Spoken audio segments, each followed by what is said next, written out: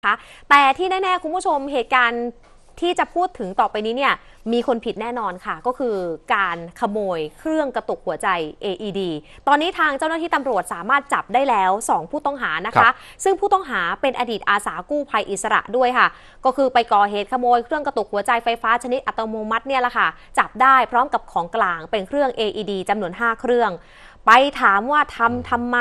ก็อ้างว่าเพื่อหาเงินไปซ่อมรถค่ะ ซึ่งเหตุเกิดเนี่ยตั้งแต่ประมาณวันที่ 20 ธันวาคมปีที่แล้วนะคะ จนถึงกลางเดือนมกราคมปีนี้ครับอะมาดูกันค่ะคุณผู้ชม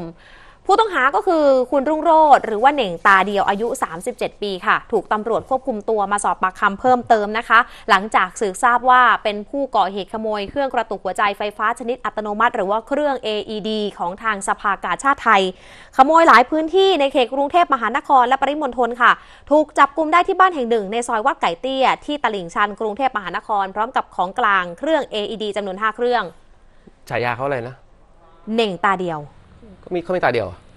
เขาอาจจะมีหลายตาอ๋อออาจจะมีสองตาแต่อืมหมายถึงว่าตาเดียวอาจจะโฟกัสหรือเปล่าอืมอันนี้ไม่แน่ใจนะคะ ซึ่งคุณรุ่มโรจน์เนี่ยเขาก็รับสารภาพพอที่เจ้าหน้าที่ตำรวจอืมเขาไปครับรวบตัวเขาบอกว่าก็เคยทำงานเป็นเจ้าหน้าที่อาสากู้ภัยอิสระ ระหว่างออกทำงานเนี่ยไปเห็นเครื่อง AED ไงอืมติดตั้งอยู่ทั่วไปไม่มันไม่ได้ล็อกอะเพราะว่ามันต้องใช้งานนะคะ ประกอบกับตอนนั้นต้องการหาเงินมาซ่อมรถ ก็เลยคิดว่าครับซะหน่อยละกันอืมสักเครื่องเดียว ก็เลยไปขโมยค่ะ แถววัดเทพศิรินทร์ แต่เห็นว่าราคาดีนี่ไม่ได้ขายหลักพันขายได้หลักหมื่นค่ะ 1 2 0 0 0 1 1 15,000 บาทเขาซื้อมา3ามสี่หมื่นเออแต่อืมแต่ว่าขายครึ่งราคาครับแต่ว่าตัวเองขโมยมาอืมพอขายได้เป็นหมื่นปั๊บอ้อมันคงไม่ใช่เรื่องซ่อมรถแล้วล่ะครับเพ ราะเห็นราคาดีก็เลยขโมยไปเรื่อยๆค่ะ รวม 6 เครื่อง โดยจะให้นายวีรยุทธ์ซึ่งเป็นเพื่อนเจ้าหน้าที่กู้ภัยด้วยกันช่วยหาคนซื้อ ก่อนที่เจ้าหน้าที่จะตามจับนายวีรยุทธ์ก็เหมือนคล้ายๆล่อซื้อเนาะในเวลาต่อมานั่นเองพี่นุชก็มีตาเดียวไง ก็เลยเจ้าหน้าที่จับได้ไงมีสองอืมตา ซึ่งคำให้การของผู้ต้องหานะครับทางเจ้าหน้าที่ตอนนี้เองก็ดูเหมือนว่าจะยังไม่ปักใจเชื่อว่าค่ะ จะขโมยแค่6เครื่อง เพราะว่าพอไปเช็คข้อมูลแล้วเนี่ยยังมีพื้นที่หลายพื้นที่ในพื้นที่กรุงเทพ พื้นที่อื่นเนี่ย ถูกขโมยไปด้วยนะครับ เพราะฉะนั้นเนี่ยอาจจะมากกว่านี้ค่ะ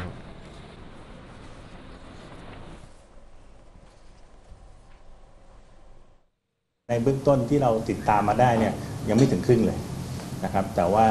อ่าวันนี้ท่านพลตำรวจเอกดำรงศักดิ์กิติประพัฒน์ท่านพบตรท่านสั่งให้รวมศูนย์นะผมเชื่อว่าการรวมศูนย์เนี่ยก็ทำให้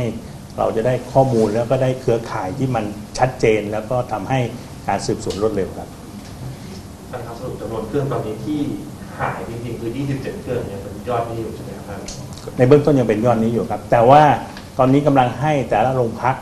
ในนครบาลและก็ปริมณฑลนะครับเร่งตรวจสอบ อย่างเช่น วันเนี้ยเจ้าเดียว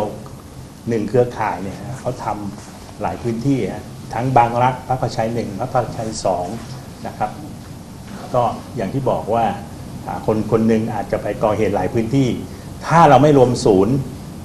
การดำเนินคดีมันต้องแยกแล้วมันก็จะไม่มีข้อมูลที่ชัดเจนรวดเร็วครับ เบื้องต้นเจ้าหน้าที่ก็แจ้งข้อหานายรุ่งโรจน์ลักทรัพย์ในเวลากลางคืนค่ะ ส่วนนายวิรยุทธ์แจ้งข้อหารับของโจร ซึ่งทั้งสองนั้นก็เป็นอาสาสมัครของมูลนิธิแห่งหนึ่ง ทั้งสองให้การรับสารภาพนะคะ ว่าทำไปเนี่ยก็เพราะต้องการเงิน เห็นว่าสามารถหาเงินจากช่องทางนี้ได้ก็เลยก่อเหตุซ้ำสำหรับเครื่อง AED นะครับทางสภากาชาติไทยได้สั่งซื้อมาพันกว่าเครื่องนะครับตกเครื่องหนึ่งเนี่ย ราคาเต็มนะครับประมาณ 35,000 บาท แล้วก็มีการติดตั้งตามจุดสำคัญสำคัญต่างๆนะครับแล้วก็ปกติแล้วเนี่ยเครื่องมืออุปกรณ์แบบนี้เองเนี่ยเขาจะไม่ล็อกกันอยู่แล้ว คล้ายๆ แบบเอ่อเครื่องดับไฟอะค่ะอืม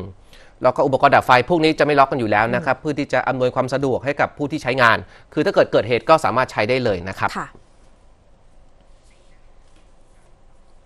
คุณผู้ชมคะเดี๋ยวช่วงนี้เราพักกันสักครู่ช่วงหน้าเราไปตามต่อค่ะ เส้นทางทางการเงินของคุณน็อตกองสลากพลัสทนายความนำมายื่นแล้วนะคะ รายละเอียดจะเป็นอย่างไร ช่วงหน้ากลับมาติดตามกันค่ะ